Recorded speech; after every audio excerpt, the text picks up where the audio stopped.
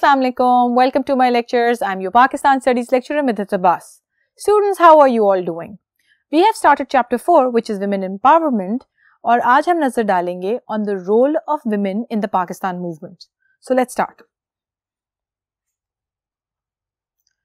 So, today we have to discuss the role of women in the Pakistan movement. Pakistan movement में औरतों के क्या role था? Let's take a look at that. Muslim women of the subcontinent played everlasting role in the freedom movement. Pakistan movement the movement for the freedom जिससे हमें independence मिली, एक separate मुल्क मिला, एक आइडेंटिटी मिली, उसमें सिर्फ़ मर्दों का नहीं, औरतों का भी एक बहुत अहम किरदार था औरतों ने ना सिर्फ़ मर्दों के शाना बशाना काम किया in the outer field as well twenty century की वुमेन थी they were skilled trained women उन्होंने बाहर वाली फील्ड्स में भी काम किया, बल्कि उसके अलावा उन्होंने जो खातन घरों में थी, जो हाउस होल्ड्स में थी, उनमें ये अवेयरनेस ये आगाही फैलाई कि पाकिस्तान मूवमेंट क्यों इम्पोर्टेंट है, उनके अंदर नेशनलिज्म की स्पिरिट जगाई पॉलिटिकल अवेकनेस जगाई कि क्यों एक नया मुल्क और एक सेपरेट आइडेंटिटी बहुत ज़रूरी है मुसलमानों के लिए। इन खातन में जो सर फहरिस्त नाम है, उनमें से कुछ हैं मादर मिलत Fatima Jinnah Begum Maulana Mohammad Ali Jauhar, Begum Salma Tassaduq Hussain, Fatima Sughra, Begum Shaista Ikramullah and few more women ये वो खातन हैं जिन्होंने पाकिस्तान मूवमेंट में बहुत अहम किरदार अदा किया। इन्होंने काम किया for political awakening and also they brought the spirit of nationalism हुबुल वतनी जगाई। इस बात का एहसास दिलाया खातन को भी, क्योंकि खातन एक मेजर हिस्सा है पॉपुलेशन का। एंड ऑब्वियसली एक मुल्क में खातन का किरदार भी अहम है।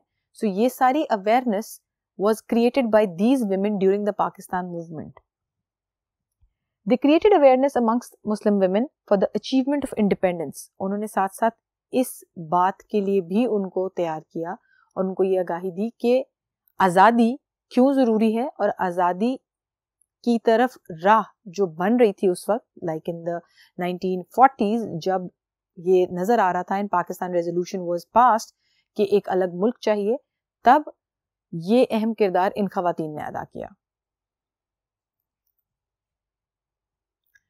They not only created political awareness amongst household women, but also raised the spirit for separate national identity. इन्होंने जैसा कि मैंने पहले बताया कि सिर्फ़ ये नहीं बताया खातन को कि पॉलिटिकल जो अवेयरनेस है या पॉलिटिकल फ्रंट पे मुल्क में क्या हो रहा है और मुल्क सेपरेट हो रहा है या ये पार्टीशन क्यों ज़रूरी है? उन्होंने बल्कि उनमें एक ऐसी नई अवेयरनेस जगाई, एक ऐसी स्पिरिट पैदा की कि नेशनल आइडेंटिटी मुसलमानों को एक अलग मुल्क की ज़रूरत है और वो क्यों है? अब let's take a look separately at the roles जो इन खातन ने अदा किए ड्यूरिंग द पाकिस्तान मूवमेंट मोहतरमा फातमा जना, जैसा कि पहले भी मैंने आपको बताया she was the sister of Quaid Azam Mohammad Ali Jinnah उन्होंने कायदे आज़म के शाना बशाना काम किया पाकिस्तान मूवमेंट में। बहुत सारी जगहों पे वो अपने भाई के हमरा गई। उन्होंने जो मुस्लिम खातन थी, उनमें पोलिटिकल अवेयरनेस जगाई। She was also an active member of All India Muslim League as well All India Muslim League जो कि पोलिटिकल ऑर्गेनाइजेशन थी, जो कि मुस्लिम ऑफ़ सब कॉन्टिनेंट को रिप्रेजेंट करती थी, उनकी, उसकी बहुत एक्टिव मेंबर थी मोहतरमा फातमा जना। देन बेगम सलमा तसदुक हुसैन। ये वो खातून हैं who worked for making women members of All India Muslim League, जिन्होंने 1940 से पहले ऑल इंडिया मुस्लिम लीग का हिस्सा खातन को बनने के लिए एक अहम किरदार अदा किया कि खातन All India Muslim League join करें। Then she headed the session which was held in 1940 1940 में एक सेशन हेल्ड हुआ between the spouses of the political leaders मतलब जो बीवियाँ थी उस वक्त के पोलिटिकल लीडर्स उनके दरमियान एक मीटिंग हुई और उस मीटिंग में इनको joint secretary of All India Muslim League women wing जो है वो पंजाब में सिलेक्ट किया गया। Fatima Sughra she was the one she was just fourteen year old सिर्फ़ चौदह साल की तालब इल्म थी ये और इन्होंने she hoisted flag of Pakistan civil secretariat civil secretariat पे पाकिस्तान का झंडा लहराया था और इनको इस चीज़ के लिए पीनलाइज भी किया गया था। बट इन्होंने फिर भी अपनी तगदो नहीं छोड़ी और इन्होंने पूरा अपना अहम किरदार अदा किया। She was an active member of Pakistan movement और उन्होंने पाकिस्तान मूवमेंट में अपना किरदार अदा किया। सोचें कितनी ज़रूरत चाहिए होगी, कितना जज्बा होगा उस चौदह साल की लड़की में जिसने सिविल सेक्रेटेरिएट पर चढ़ के पाकिस्तान का झंडा लहराया। Then Begum Shaista Ikramullah she was the founder of Muslim girls federation Pakistan movement Pakistan independently नहीं बना था। उस वक्त सब कॉन्टिनेंट कंबाइंड था। उस ज़माने में औरतों को या लड़कियों को घरों से निकाल के इतना नेशनलिज्म या इतनी मोटिवेशन देना कि वो आके एक फेडरेशन का हिस्सा बने। लेकिन ये अहम किरदार बेगम, शाइस्ता इकरामुल्ला ने अदा किया और मुस्लिम गर्ल फेडरेशन के नाम से एक ऑर्गेनाइजेशन बनाई जिसमें एक्टिवली खातन ने और लड़कियों ने पार्टिसिपेट किया भी। Then a very important lady Begum Rana Liaquat Ali. She was the wife of Liaquat Ali Khan the first prime minister of Pakistan उनकी ये बीवी थी।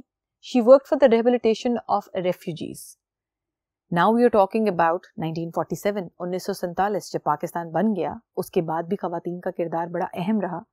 सो बेगम राना लियाकत अली खान, इन्होंने रेफ्यूजीज जो पहली प्रॉब्लम पाकिस्तान बनने के बाद पाकिस्तान को फेस करनी पड़ी थी the biggest migration of the mankind जब इंडिया से पाकिस्तान रेफ्यूजीज आए थे, उनकी रिहेबिलिटेशन उनकी सेटलमेंट में एक अहम किरदार अदा किया।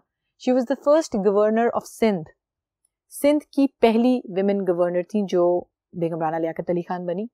She was all Pakistan women association founder as well ये इसकी भी फाउंडर थी और मेंबर थी। देन बेगम मौलाना मोहम्मद अली जौहर। ये मौलाना मोहम्मद अली जौहर, जो कि एक बहुत एक्टिव पॉलिटिकल लीडर थे और जिनका एक बहुत अहम किरदार था पाकिस्तान मूवमेंट में, उनकी बीवी थी। इन्होंने अपनी सास के साथ, जिनको बी अम्मा कहा जाता है, जो कि माँ थी मौलाना मोहम्मद अली जौहर की, उनके साथ मिलके खिलाफत मूवमेंट में हिस्सा लिया था। She participated in the Khilafat movement then Begum Jahan Ara. Begum जहाँ आरा ने 1930 की जो राउंड टेबल कॉन्फ्रेंस थी वो अटेंड की। She attended the round table conference in 1930 और उसके बाद 1931 में जो सेकेंड और थर्ड राउंड टेबल कॉन्फ्रेंस हुई थी, उसमें इन्होंने विमेन को रिप्रेजेंट भी किया था। Then she was the member of all India Muslim League women committee so she also played an important and integral role in creating awareness about political situation and motivating the women then lady Nusrat Haroon she participated in Khilafat movement to इन्होंने भी खिलाफत movement में हिस्सा लिया।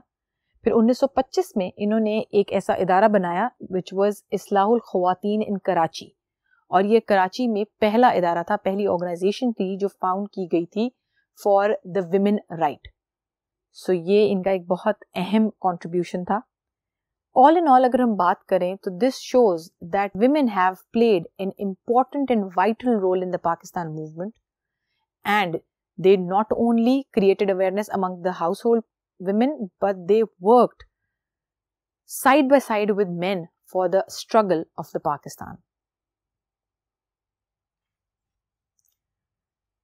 अब हम discuss करते हैं the women contribution from 1947 till now उन्नीस के बाद जब पाकिस्तान बन गया तो तब भी खातन ने अपना पूरा किरदार अदा किया अपनी जो इम्पोर्टेंट रोल और ड्यूटीज़ हैं वो पूरी की and they played an integral role in the development of Pakistan जिसमें सबसे पहला नाम है मोहतरमा फातमा जना का जिनके बारे में हमने पहले भी डिस्कस किया। इन्होंने ना सिर्फ़ बल्कि पाकिस्तान मूवमेंट में अपने भाई कादे आज़म मोहम्मद अली जना के साथ मिलकर काम किया बल्कि after the formation of Pakistan, she was the first lady to participate in the first elections which were held in 1965 and she contended against general Ayub Khan इन्होंने जनरल अयूब खान के अगेंस्ट इलेक्शन लड़ा था जो कि पहला इलेक्शन पाकिस्तान में हुआ था।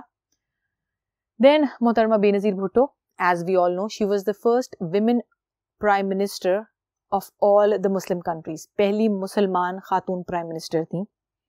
अरफा करीम a nine year old girl, नौ साल की बच्ची who was a certified Microsoft professional नौ साल की बच्ची को माइक्रोसॉफ्ट वालों ने अपनी प्रोफेशनल सर्टिफिकेट दिया था। इतनी छोटी सी उम्र में इतनी बड़ी अचीवमेंट की थी। इन्हीं के नाम पे अरफा करीम टावर, जो लाहौर में है, वो आज भी एग्जिस्ट करता है।